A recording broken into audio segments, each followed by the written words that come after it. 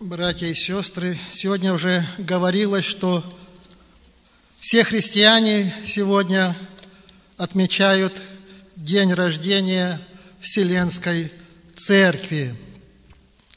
И мы, как церковь, также входим в это число. И мы, как верующие, знаем Создателя этой Вселенской Церкви. Это есть наш Господь Иисус Христос – и в Евангелии от Матвея он сказал, 16 главе 18 стихом, «Я создам церковь мою, и врата ада не одолеют ее». И так оно и было. И я хочу прочитать из Деяний апостолов, как это было. Глава 2, с первого стиха я читаю. «При наступлении Дня Пятидесятницы все они были единодушно вместе – и внезапно сделался шум с неба, как бы от несущего сильного ветра, и наполнил весь дом, где они находились. И явились им разделяющие языки, как бы огнятые, и почили по одному на каждом из них. И исполнились все Духа Святого, и начали говорить на язык, иных языках, как Дух давал им провещать.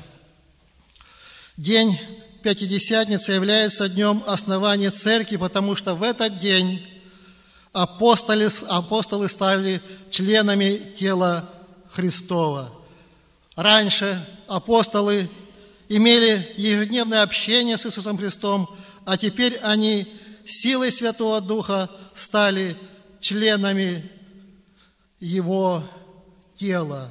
И учение о том, что церковь является телом Христовым, а святые его членами, говорит об этом апостол Павел в своем первом послании к Коринфянам, 12, стих, 12 глава, 27 стихом я читаю.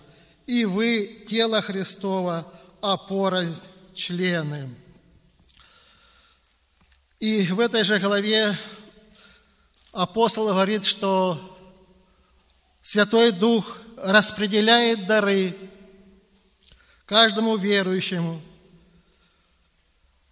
и раздает сам христианин не может выбирать их по своей воле.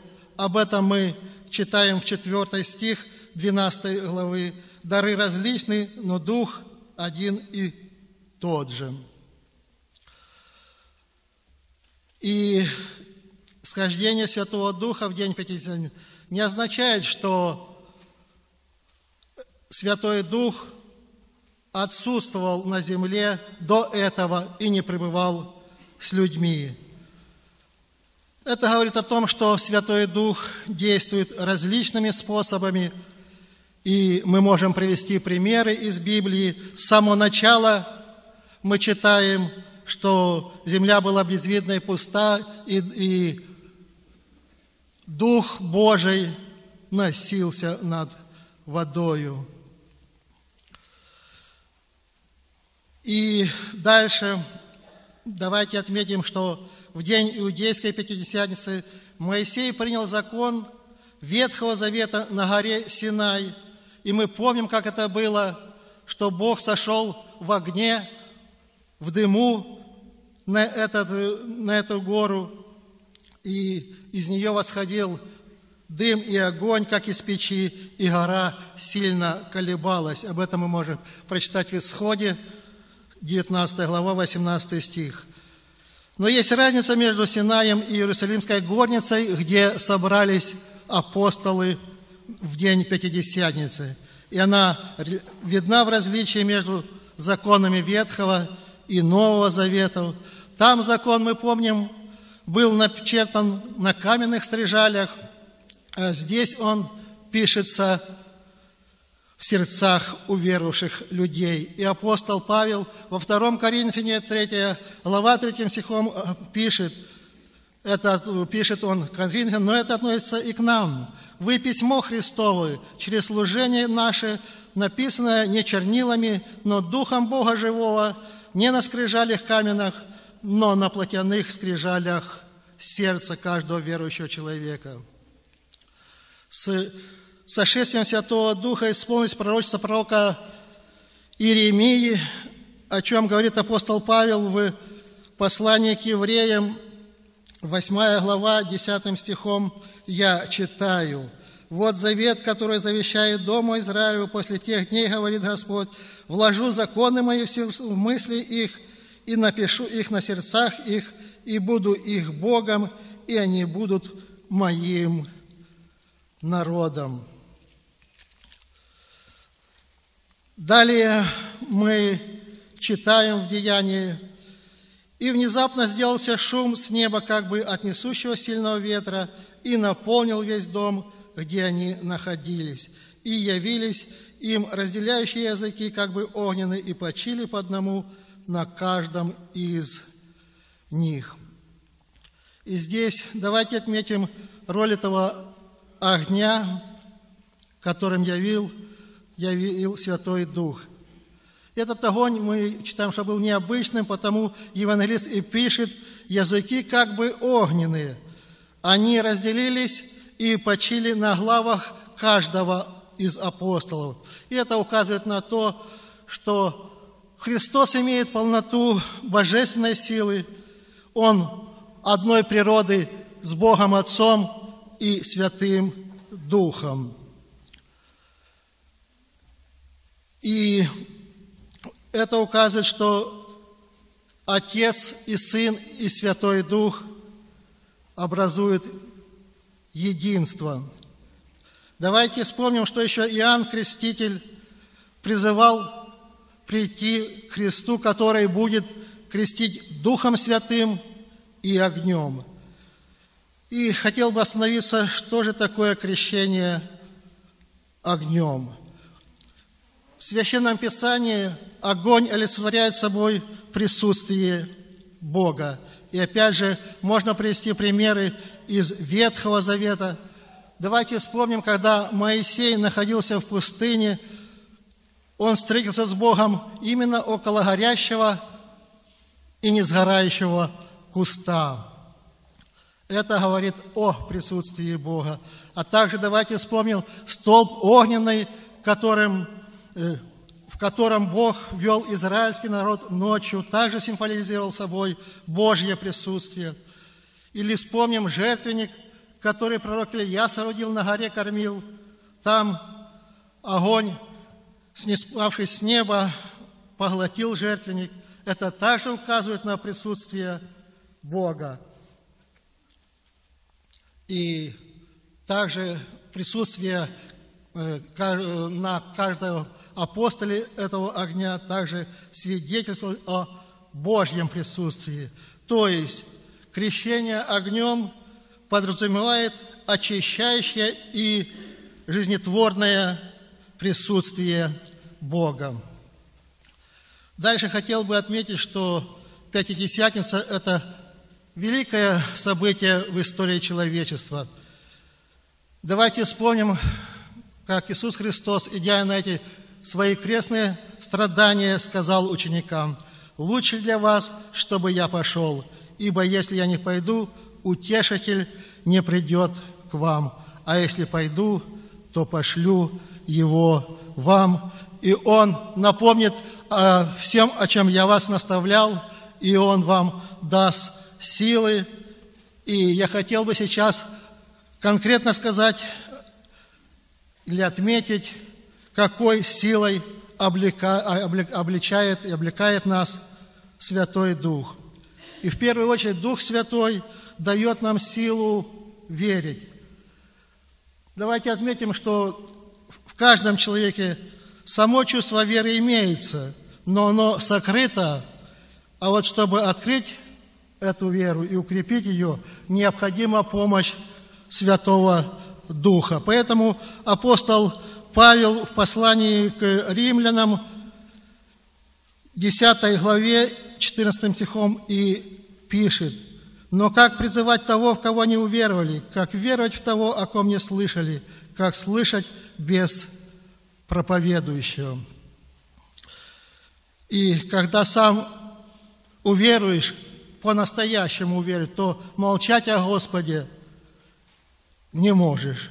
И Дух Святой – также дает нам в этом помощь проповедовать. И мы читаем в Деяниях апостол, 4 глава, 33 стихом, следующие слова. Апостолы же с великою силою свидетельствуют о воскресении Господа Иисуса Христа, и великая благодать была на всех их, и это давал Святой Дух. Дух Святой давал такую силу проповедовать, которая не могла закрыть уста верующим людям даже перед лицом смерти. Мы помним историю жизни и чем она закончилась первого мученика Стефана. И задаемся вопросом, откуда у этого простого человека была такая сила перед этим народом. И ответ ясен. Эту силу дал Дух Святой. Дальше отметим, что Дух Святой дает силу познания. Все Писание Бога вдохновенно, оно весьма премудро, а потому и познание их требует силы. И об этом нам напоминает апостол Петр в своем втором послании первой главы с 20 числа, стиха я читаю – зная прежде всего то, что никакого пророчества в Писании нельзя решить самому собою, ибо никогда пророчество не было произносимо по воле человеческой, но изрекали его святые Божьи человеки, будучи движимы Духом Святым, братья и сестры. Дальше Дух Святой обличает нас в грехах, и в то же время этот Дух нам дает силу покаянию. И процесс обличения начинается с угрызения совести и сокрушения нашего каменного сердца. Затем Дух Святой помогает нам открыть уста и покаяться в грехах, и дальше изменить свою жизнь на противоположную. И опять же, во всем этом мы видим работу Святого Духа. Дальше – Святой Дух учит нас молитвенному общению с Богом. Есть молитва, есть сила. Много молитвы, много сил, нет молитвы, и вера угасает, говорил один проповедник. И еще один проповедник говорит, когда у меня много духовных нужд, много жизненных проблем, я больше времени провожу на коленях.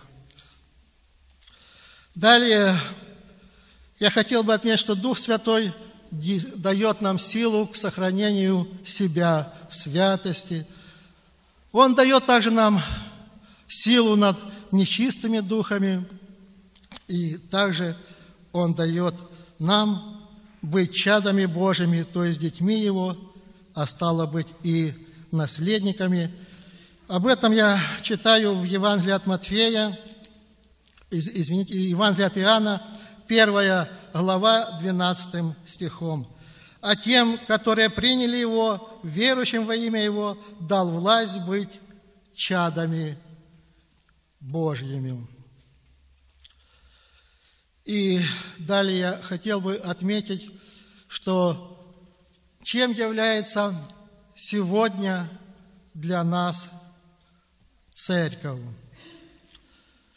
И Первая наша церковь, и не только наша церковь, а церковь Вселенская, это есть утверждение истины на земле.